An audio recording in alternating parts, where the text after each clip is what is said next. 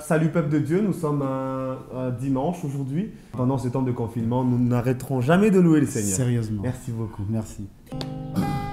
Je suis ce que je suis par la grâce du Seigneur. Nous sommes ce que nous sommes par la